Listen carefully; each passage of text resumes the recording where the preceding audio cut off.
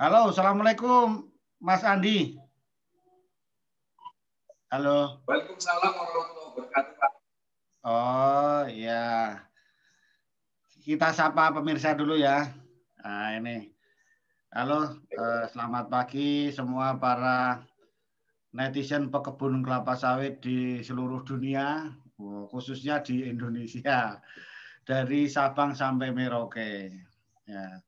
Kali ini kami akan memperkenalkan beberapa outlet eh, dari PPKS Pusat Penelitian Kelapa Sawit. Jadi banyak yang bertanya Mas Andi ke saya, salah satunya adalah di Kalimantan Timur. Wah ini banyak yang menanyakan di mana saya membeli kecambah PPKS kan begitu. Oleh karena itu kita hadirkan langsung dari Samarinda, Kalimantan Timur. Nah, silakan Mas Andi Damani untuk memperkenalkan eh, outlet PPKS yang ada di Kalimantan Timur, alamatnya di mana dan bagaimana kalau mau membeli kecambah di tempat Pak Andi. Silakan Pak Andi. Ya, baik Pak. Terima kasih banyak Pak. Assalamualaikum warahmatullahi wabarakatuh. Waalaikumsalam. Pada, pada hari ini sangat luar biasa sekali kita diberikan kesempatan untuk memberikan informasi perihal kantor PPKS Hotel Samarinda di, di Kalimantan Timur. Untuk PPKS Hotel Samarinda sendiri berada di Daerah Samarinda, Kelurahan Karangasem Ilir, Kecamatan Sungai Kunjan, Kota Samarinda, Provinsi Kalimantan Timur. Oh ya. Dari 2015 Pak, kita sudah berada di Kaltim, Alhamdulillah pada saat ini kita sudah melayani untuk pembelian kecambah kelapa sawit di kabupaten di beberapa kabupaten di provinsi Kalimantan Timur.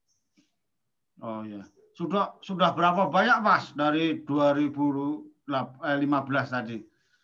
Alhamdulillah Pak sudah kalau untuk jumlahnya sudah sampai satu juta lebih. Wah ini kan Alhamdulillah. Ya, alhamdulillah untuk menyediakan ini bibit unggul bersertifikat untuk uh, masyarakat kita supaya uh, produktivitasnya tinggi. Jadi berarti kan sudah ada yang menghasilkan itu Mas, yang sering sampean keliling-keliling itu ya kan? Iya Pak, alhamdulillah sudah masuk ke M2 Iya. Terus Mas kalau mau datang ke Samarinda tadi kantornya ini kan wah mantap ini bisa ditunjukkan apa eh, fasilitas yang lain. Coba digeser-geser mas. Wah. Wah itu mejanya ada lagi apa ini? Wah. Semua mirip ya mas ya outlet outletnya itu di semua tempat di seluruh Indonesia.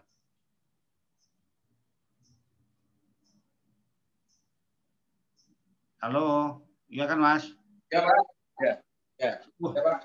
Wah, semua itu wah, semua lengkap seperti yang lain-lainnya ya kan. Itu di belakangnya apa itu Mas? Di belakangnya itu. Dura Jadi, kali ya. Ini jenis-jenis varietas yang kita miliki Pak. Wow, ini agak beda ini ya. Jadi ada beberapa varietas yang sudah kita sudah kita ini kan kita salurkan dan semua ini varietas PKS ini sudah kita salurkan di Kaltim, Pak. Dari Oh, iya. Dari tanah Grogot sana sampai perbatasan Kaltara kan, Mas? Sudah, Pak. Sampai Kabupaten Berau juga sudah dalam, sudah kurang semua, Pak. Sudah, Alhamdulillah, sudah menyebar di Kaltim, Pak. Oh, iya. Mas, kalau Kongbeng sana itu masuk mana Kongbeng itu? Kongbeng ya, masuk Kaltara? Kongbeng. Kongbeng itu masuk Kabupaten Kutai Timur, Pak. Wah, berarti kan sampai sana juga. Iya. Iya, sudah Pak. Alhamdulillah di daerah sudah banyak petani kita, Pak. Oh iya. Mas coba lihat digeserkan lagi yang ke arah eh, sana-sana eh, itu. Oh, itu. Di jalan apa tadi Mas? Lupa saya. Kantor kita di Jalan Kelapa Tiga, Pak. Kelapa Tiga. Kelapa Tiga, Pak. Oh iya, pokoknya nanti nomor masnya aku cantumkan di video supaya bisa langsung dihubungi oleh pekebun-pekebun kita yang ada di Kalimantan Timur. Ya. Ya, Pak. Ya, nanti saya sampaikan nomor teleponnya.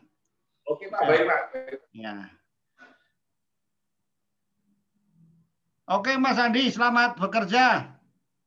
Baik, Pak. Ya. Nah, Sama, terima kasih. Nanti tolong dibantu petani-petani kita. Siap, Pak. Siap. Oke, Assalamualaikum warahmatullahi wabarakatuh. Waalaikumsalam.